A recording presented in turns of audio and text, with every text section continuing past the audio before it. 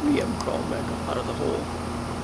Not sure if you can hear me or not over the air unit running here beside me.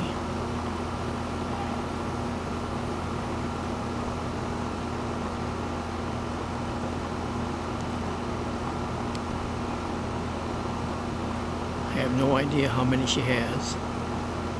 Tonight's the first I've seen them, and as you can see by the size of them, they're not newborns. She's had them for a little while.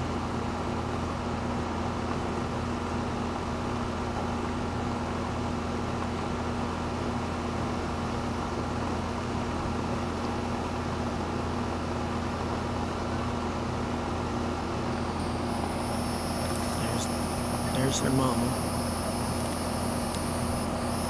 And see the tip of her tail is white. She just chased him away from the where the babies are. But I've got two that are that color. One of them's tail's all light brown. Hers got a white tip on it. So she's white tail. Her sister's white belly.